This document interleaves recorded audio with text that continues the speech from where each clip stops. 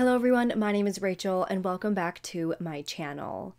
So today's video is going to be a little bit different than what I normally cover here on my channel, but it is nice to have a case once in a while that actually has a very good ending. It's definitely still a very bizarre and mysterious situation, though, so I'm really looking forward to hearing everybody's thoughts on this case. But before we get into it, I wanted to go ahead and say a huge thank you to Briogeo for partnering with me on today's video. Briogeo's products can be used with all different hair types and textures, and it is a black owned, female founded company, which I love and support.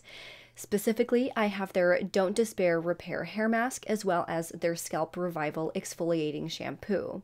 So, their Don't Despair Repair Hair Mask helps to repair dry, damaged hair by balancing protein and moisture. It's actually scientifically proven to decrease hair breakage after two uses, and they use a cleaner formula than the majority of alternatives in hair repair. I love this mask because as you can tell, I use and abuse my hair. I love bleaching it and dyeing it fun colors. This is the most updated right now. I just added a ton of pink. So I definitely need a bit of hair repair to help repair the damage each week after everything that my hair has been through. Then I love their Scalp Revival Exfoliating Shampoo. This scalp scrub is a weekly exfoliating shampoo that cleanses, detoxifies, and hydrates your scalp. Everybody should be including an exfoliating shampoo weekly into your routine to help clear out any buildup that's left in your hair and help hydrate your scalp. Plus, it's clinically proven to decrease up to 82% of dry scalp flaking, leaving you hydrated and flake free. For me, again, I'm constantly using leave in conditioners, hairsprays, mousses, even gel sometimes to get my hair to stay in place. So for me, it's a must to clear out all of that buildup at least once a week. Briogeo is a clean hair care brand who have been formulating eco conscious, clean formulas for a decade. Their products don't include harmful ingredients like sulfates, silicones, parabens, and phthalates, which are found in the majority of other hair care products. Since using these products weekly and in my daily routines, my hair feels so soft and healthy. I notice that it feels smoother, I have less frizz overall, and my scalp definitely feels clean, hydrated, and revived. So, if you want to try Briogeo out for yourself, they have offered my viewers a special offer. You can get 15% off of your Briogeo order when you click the link down below and use code Rachel15 at checkout or head to briogeohair.com slash Rachel. Again, that's briogeohair.com slash Rachel or using code Rachel15 at checkout for 15% off of your order. Thank you again so much to Briogeo for partnering with me on today's video. With that being said, let's get into the case. Today we are going to be discussing the disappearance and reappearance of Danny Filippidis. Danny Filippidis was 42 years old when he went missing, then resurfaced only a week later, 2,900 miles away from where he went missing. Danny Filippidis is from Toronto, Canada, and he worked for the Toronto City Fire Department for 28 years. He also has a wife as well as two children. He was described by friends as fun and outgoing with a larger than life personality. By early February of 2018, Danny left his home to go to the Whiteface Mountain ski resort in Lake Placid, New York with eight friends and coworkers from the Toronto Fire Services for an annual ski trip. They were there for a few days, skiing and relaxing, just having a good time. By February 7th, the day started as normal, just like the other days. They skied that morning, but after a few hours, the friends got tired and they wanted to relax, rest, and unwind for the rest of the day. It was nearing the end of their trip, so they just wanted to relax and enjoy each other's company at that point. So, sometime that afternoon of that day, the group was at their lodge located about halfway up the Whiteface Mountain when Danny realized that he had actually forgotten his cell phone in the car. He said that he wanted to take some pictures and capture more memories as the trip came to a close, so he told his friends that he was going to ski down the mountain to grab his cell phone from the car and that he would be back up later. But a few hours had passed and he did not return, and as it became darker, his friends began to worry. Not too long after that, his friends alerted the ski resort staff to let them know, who then contacted the authorities, who started a massive search for Danny. The friends found that Danny's passport was still at the lodge, so they knew that there was no way that he could have flown out of the country and back home at any point. They also saw that his cell phone was still in his car. So to them, that said that he never made it to his car, which was his reason for leaving in the first place so his friends had no idea what to think at that point. Over the course of the following days, over 140 volunteers, along with Danny's wife, members of the New York State Police, the Department of Homeland Security, and the New York State Department of Environmental Conservation, all set out in their searches for Danny. They utilized helicopters, drones, and sniffer dogs, and they put in a total of 7,000 combined hours in their searches for Danny. But he was absolutely nowhere to be found on that mountain. At that point, people just did not know what to think. Danny had been skiing many times in his life, and he was said to be an intermediate level skier. So he wasn't this Olympic gold medalist who was out skiing every single day and doing flips and tricks but he was experienced and well versed with the rugged terrain on the mountain. But his disappearance was around the same time that a big winter storm was coming in that made visibility poor. So that made them realize two things that searching for him was going to be a very difficult feat, but also that it's possible that this winter storm somehow caused him to be harmed and that he may be somewhere up on that mountain, injured and unable to get help. However, only six days after these intense searches started, they came to a close. Danny's wife received a call from an unknown number, and she answered only to find that it was her missing husband on the other end. As they spoke, she urged him to call the police and get some help, so he did just that. He called the police, and that is when his wife and the police found out that he was actually 2,900 miles away clear across the country in Sacramento, California. Upon arrival, police discovered him wandering around at a rental car facility at the Sacramento airport. They found that he had a new cell phone, a haircut, and he was still wearing all of his ski clothes and gear that he was wearing six days prior when he went missing. And at that time, he had no idea who he was or how he even got there. He said that all he remembered was that he was last skiing, and that's the last thing he remembered when he was initially found. He tried remembering what happened over the course of the past six days, but he only had a very spotty memory. He vaguely remembered being driven in a big rig, but he couldn't recall any details of what it looked like on the outside or inside, or who was driving. He did not remember if he had been the victim of a crime or if he had been attacked. He had no idea what had happened over those six days. So, at this point, of course, his family were all very relieved that he was found alive. He was taken back to Toronto and treated at the hospital there. He was so happy to find himself surrounded with friends and family, but there was still this question of what exactly had happened. At that point, the police said that the doctors were still working with him to question him and help him remembering what it was that happened while he was missing. They wondered initially if there could have been any sort of mental health issues that could have caused this.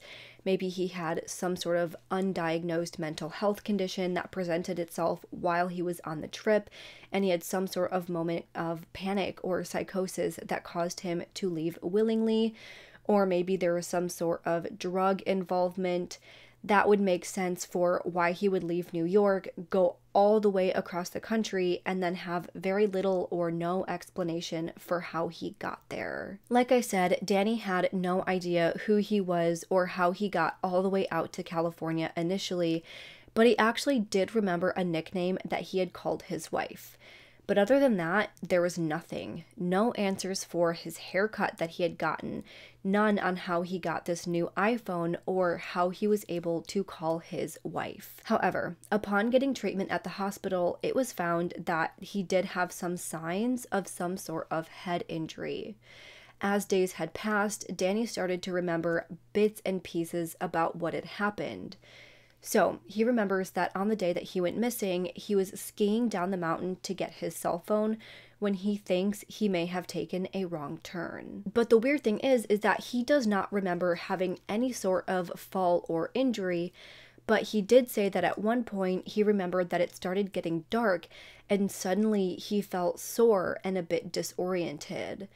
So he removed the skis from his boots and he started walking and making his way back up to what he thought was the lodge that he was staying at with his friends.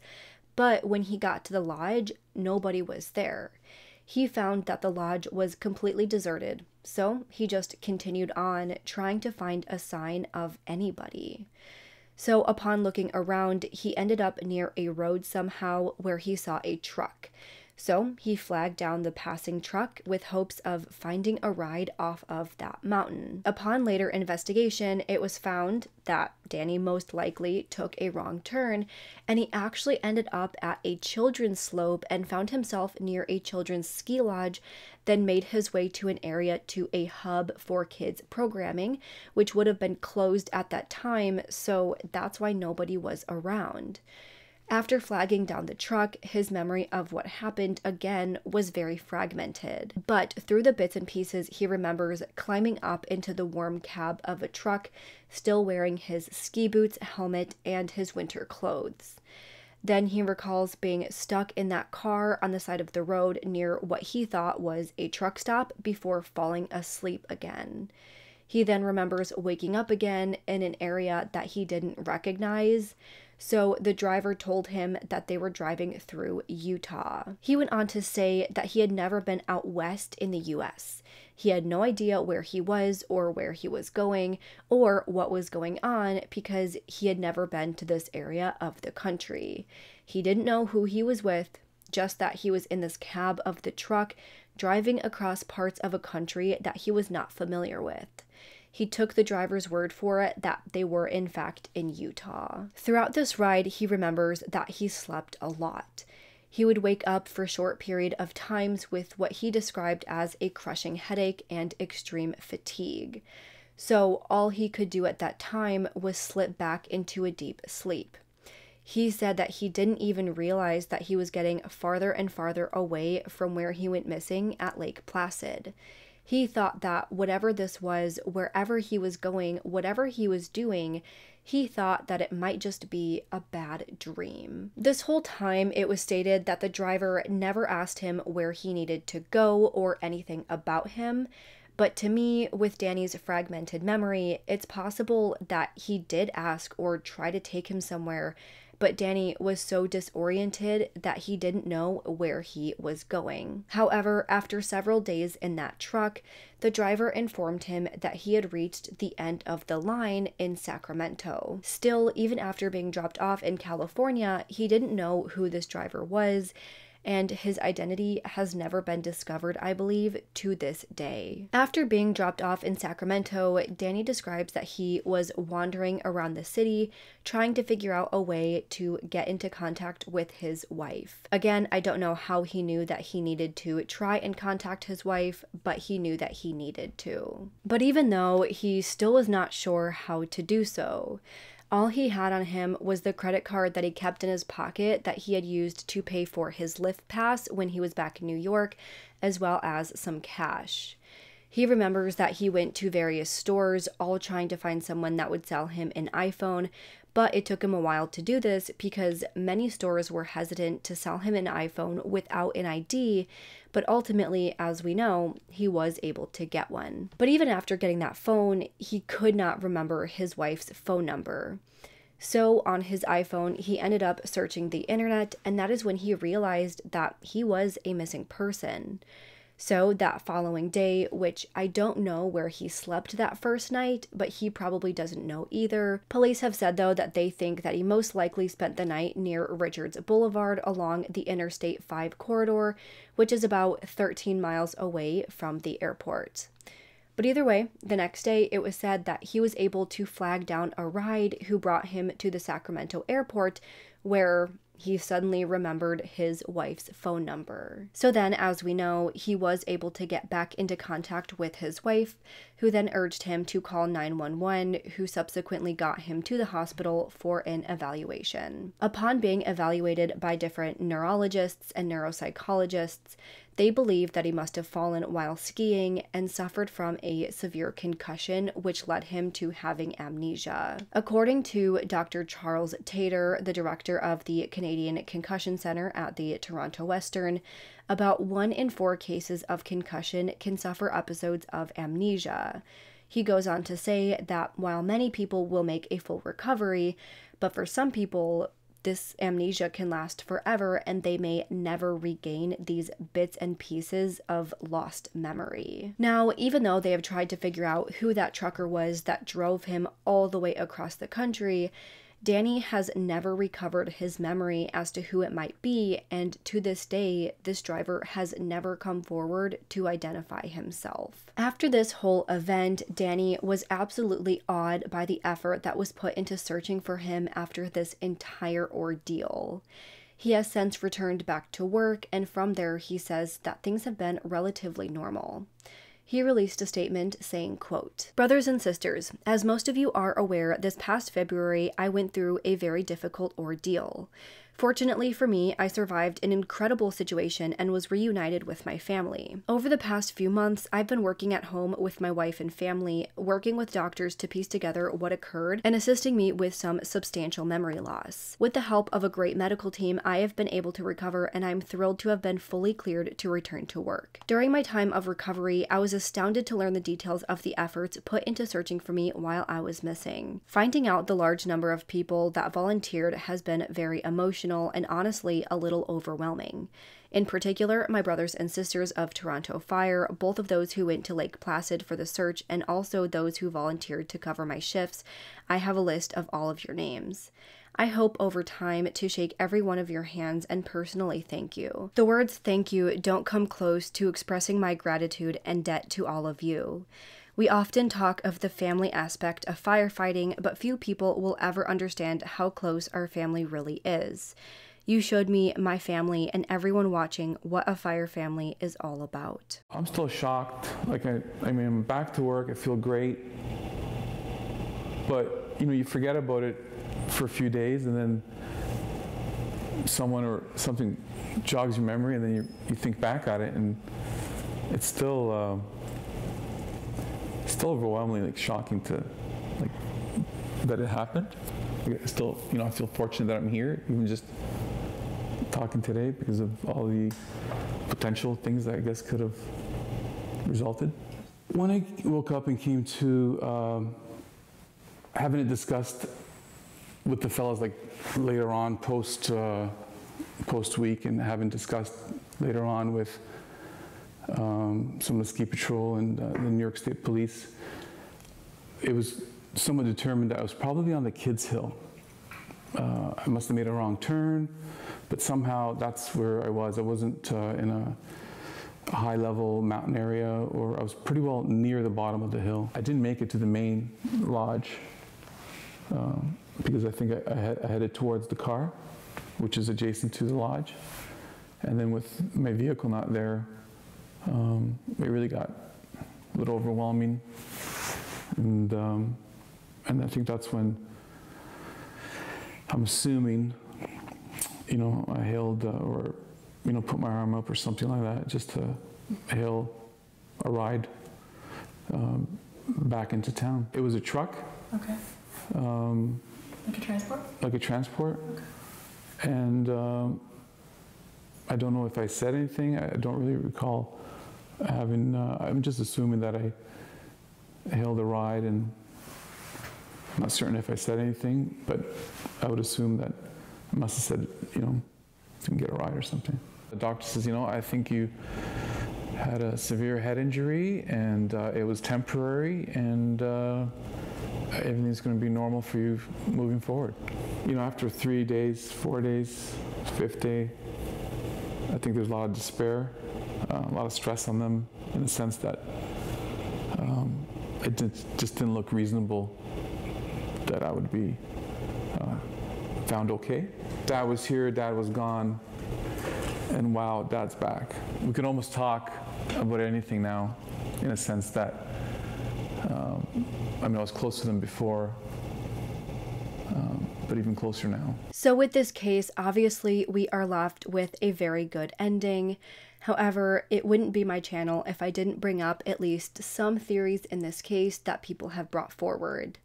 So, some people believe that this is actually a case of an alien abduction.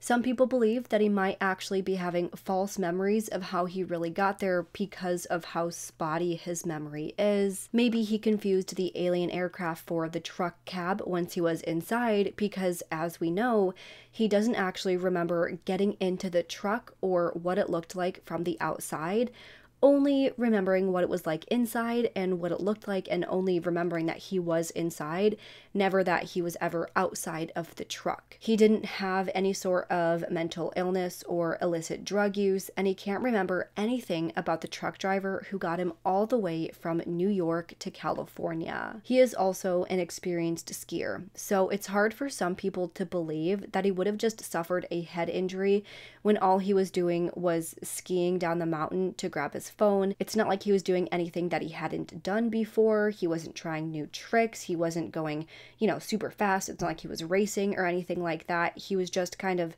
casually going down the mountain to grab his phone. So there's no reason to think that he wouldn't have known how to get there and that he would have been doing tricks or anything new that would have caused him to have an injury. And the fact that this case was pretty big at that point and nobody ever came forward claiming to be the truck driver is another aspect of that. Obviously, he is thought to have suffered a head injury, but some people believe that if he really did suffer such a bad head injury that he forgot a week of his life and wandered aimlessly, so much so that he ended up clear across the country and did not remember at all how, that there isn't any way that he would end up back at work with no residual issues. So, some people theorize that this was actually an alien abduction that carried him all the way across the country. Some people think that the alien abduction is really what caused his head injury in the first place so that, you know, they could do whatever they were going to do to him and then he would forget about it and end up back in California and nobody would question, you know, anybody that had anything to do with it. Others theorized that the truck driver actually ended up hitting Danny with the truck after Danny somehow ended up on the road, and then the truck driver took him into his cab and then realized that Danny was still alive and then took him as far as possible. Dropped him off in a random place that he had never been before to keep anybody from you know, finding his trail or figuring out what really happened.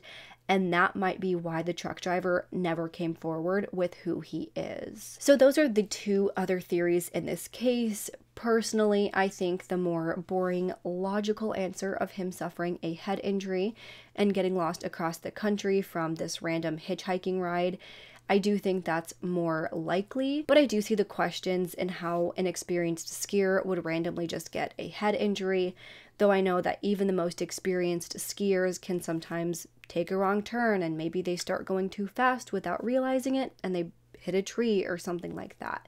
It is kind of crazy to me that someone forgets that long of their life. The fact that he was in that truck that long, he doesn't remember stopping to go to the bathroom, he doesn't remember eating, he doesn't remember who the truck driver was that he spent a week of his life with. He doesn't remember anything, which I think is just kind of crazy at that point. And some people might say that he was in a coma and slipping in and out of consciousness.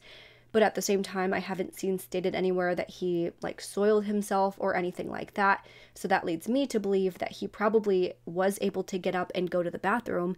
So just little aspects like that really make me question things.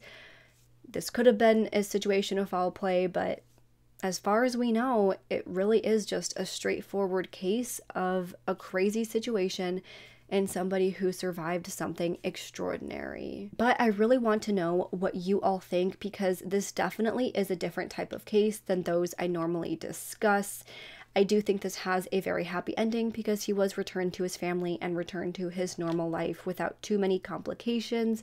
So I hope things are going pretty well for him. But with that, I want to hear what you guys think in the comments. Do you think that this was a situation of him just getting injured on that mountain and getting a ride across the country? Or do you think this could involve aliens or some sort of foul play? Let me know what you think in the comments below. With that, if you like this video, please make sure to go ahead and leave this video a thumbs up and subscribe to my channel. I put out new true crime and mystery videos every single week. Don't forget to go ahead and turn the notification bell to on so you don't miss out on any of my future videos. Make sure you go ahead and use my link down below and use code Rachel15 at checkout to get 15% off of your order for Briogeo. Make sure you go ahead and follow me on Twitter and Instagram. Both will be linked down below. And if you have absolutely any case suggestions, please make sure to go ahead and fill out the Google form that I also have listed down below. With that, I hope you guys have an amazing week. Stay safe, stay healthy, and I hope to see you next time.